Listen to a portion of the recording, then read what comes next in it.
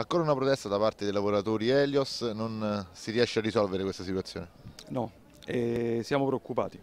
Gli stipendi a oggi ancora non sono arrivati, eh, ci risulta che il sindaco comunque l'amministrazione abbia fatto già il bonifico e l'azienda non sta pagando gli stipendi.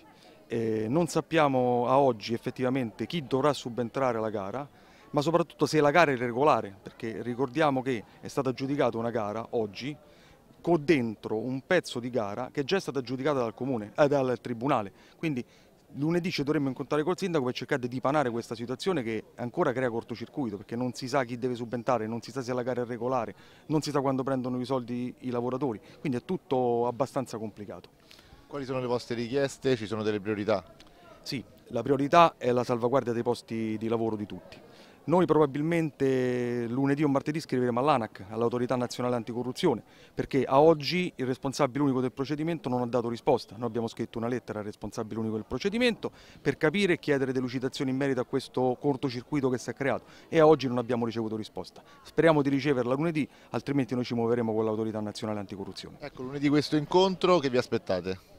Ci aspettiamo intanto delle risposte che vadano nella direzione della salvaguardia di tutti i livelli occupazionali intanto capire questi lavoratori quando saranno assunti, come saranno assunti, a quante ore saranno assunti e pretendiamo una regolarità nel pagamento degli stipendi di tutti quanti. Questa situazione sta diventando insostenibile. Sta diventando spaventosa, è stato esaustivo, Marco ha spiegato eh, tutte le paure che abbiamo. Io vorrei solo ricordare che siamo quasi 100 famiglie, 100 persone che faticano ormai da anni a, portare, a sapere se portare un piatto a tavola per i figli o pagare la bolletta, perché non abbiamo mai certezze, non sappiamo se, se avremo lo stipendio, quando lo avremo e ora non sappiamo più nemmeno da gennaio, da, da, febbraio, dal mese prossimo, se avremo un posto, a che parametri, per quante ore. Siamo davvero preoccupati. Avete incontrato per poco il sindaco questa mattina, lo rincontrerete lunedì, forse arriverà qualche risposta in più?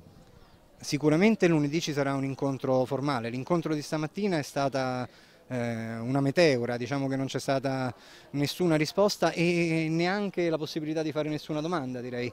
E speriamo di avere lunedì un incontro che, che, che ci dia delle risposte che sia concreto.